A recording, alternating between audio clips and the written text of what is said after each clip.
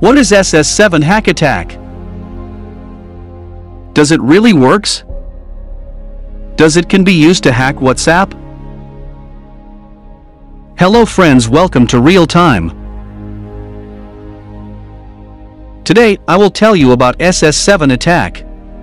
SS7 stands for Signaling System 7. By using this protocol hacker can see messages, listen calls, track location of any person. SS7 is an old protocol system and was developed in 1975. Basically, it used in telecommunication. For example in network switching, routing, billing information. Let's take an example. Consider you are traveling out of your country where your network signals are not available.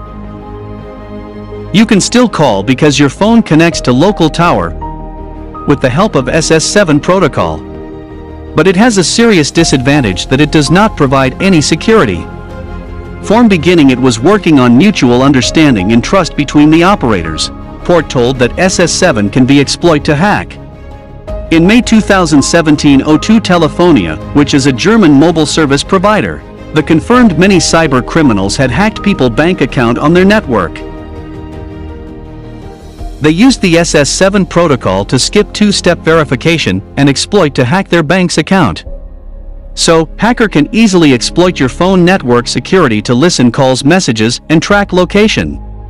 Does WhatsApp is at risk due to SS7? As WhatsApp provides end-to-end -end encryption, which means it is difficult to decode information. But still WhatsApp is not safe from SS7. As WhatsApp uses phone no, for account activation. So, hacker can read your one-time password and install your account in his own phone. How to safe from SS7?